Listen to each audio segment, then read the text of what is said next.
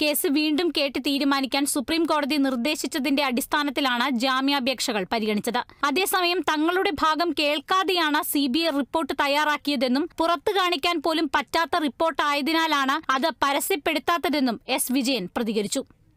ഇങ്ങനൊരു കേസ് കേരളത്തിലെ ഒരു പോലീസ് സ്റ്റേഷനിലും രജിസ്റ്റർ ചെയ്യാനുള്ള യാതൊരു സാധ്യതയില്ല. അത്ര കണ്ട ബാലിശമായ കാര്യങ്ങളാണ് ആ കേസിൽ ഉൾപ്പെടുത്തിയിരിക്കുന്നത്.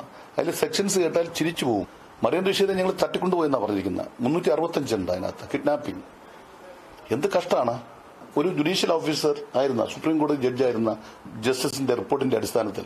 ഞങ്ങളാരും ഇപ്പോഴും കണ്ടിട്ടില്ല. ഈ റിപ്പോർട്ടും സി ബി ഐ ഒളിപ്പിച്ചു വെക്കുന്നതാണ്.